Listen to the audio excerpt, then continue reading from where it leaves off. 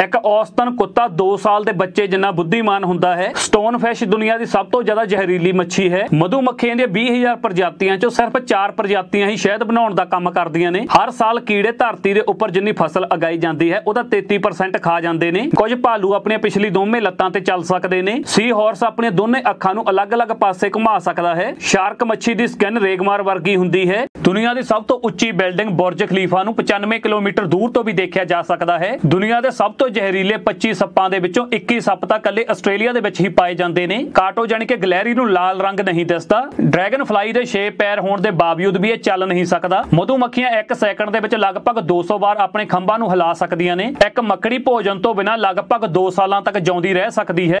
Samsung ਦੀ ਗਿਣਤੀ ਦੁਨੀਆ ਦੇ ਸਭ ਤੋਂ ਵਧੀਆ ਹਥਿਆਰ ਬਣਾਉਣ ਵਾਲੀਆਂ ਕੰਪਨੀਆਂ ਦੇ ਵਿੱਚ ਹੁੰਦੀ ਹੈ। ਦੁਨੀਆ ਦੀ ਸਭ ਤੋਂ ਡੂੰਘੀ ਝੀਲ ਪਾਈਕਲ ਝੀਲ ਹੈ, ਜਿਹੜੀ ਕਿ ਰਸ਼ੀਆ ਦੇ ਵਿੱਚ ਮੌਜੂਦ ਹੈ। ਉੱਤਰੀ ਅਮਰੀਕਾ ਨੂੰ ਦੱਖਣੀ ਅਮਰੀਕਾ ਦੇ ਨਾਲ ਜੋੜਨ ਵਾਲਾ 30000 ਕਿਲੋਮੀਟਰ ਲੰਬਾ ਪੈਨ ਅਮਰੀਕਨ ਹਾਈਵੇ ਦੁਨੀਆ ਦਾ ਸਭ ਤੋਂ ਲੰਬਾ ਹਾਈਵੇ ਹੈ। ਪੂਰੀ ਜ਼ਿੰਦਗੀ ਦੇ ਵਿੱਚ ਇਨਸਾਨ ਦਾ ਦਿਮਾਗ ਲਗਭਗ ਪੂਰੀ ਦੁਨੀਆ ਦੇ ਵਿੱਚ ਲਗਭਗ 5000 ਭਾਸ਼ਾਵਾਂ ਬੋਲੀਆਂ ਜਾਂਦੀਆਂ ਨੇ। ਊਠ ਬਿਨਾਂ ਪਾਣੀ ਪੀਤੇ 27 ਦਿਨਾਂ ਤੱਕ ਜਿਉਂਦਾ ਰਹਿ ਸਕਦਾ ਹੈ। ਜਿਰਾਫ ਪੂਰੇ ਇੱਕ ਦਿਨ ਦੇ ਵਿੱਚ ਸਿਰਫ 1 ਘੰਟਾ ਹੀ ਸੌਂਦਾ ਹੈ। ਸਮੁੰਦਰੀ ਕੇਕੜਿਆਂ ਦਾ ਦਿਲ ਉਹਨਾਂ ਦੇ ਸਿਰ ਦੇ ਵਿੱਚ ਹੁੰਦਾ ਹੈ। ਕੀੜੀਆਂ ਇੱਕ ਦਿਨ ਦੇ ਵਿੱਚ ਸਿਰਫ 16 ਮਿੰਟ ਹੀ ਸੌਂਦੀਆਂ ਨੇ। ਬਿੱਛੂ 6 ਦਿਨਾਂ ਤੱਕ ਬਿਨਾਂ ਸਾਹ ਲਏ ਜਿਉਂਦਾ ਰਹਿ ਸਕਦਾ ਹੈ। ਜਨਮ ਤੋਂ ਲੈ ਕੇ 6 ਮਹੀਨੇ ਦਾ ਜਿਹੜਾ ਬੱਚਾ ਹੁੰਦਾ ਹੈ, ਜਦੋਂ ਵੀ ਉਹ ਰੋਵੇਗਾ, ਉਸ ਦੀਆਂ ਅੱਖਾਂ ਦੇ ਵਿੱਚ ਹੰਝੂ ਨਹੀਂ ਆਉਣਗੇ। ਆਈਸਲੈਂਡ ਦੇਸ਼ ਦੇ ਵਿੱਚ ਆਰਮੀ ਨਹੀਂ ਹੈ ਤੇ ਇਹ ਪੂਰੀ ਦੁਨੀਆ ਦਾ ਸਭ ਤੋਂ ਜ਼ਿਆਦਾ ਖੁਸ਼ਹਾਲ ਦੇਸ਼ ਹੈ।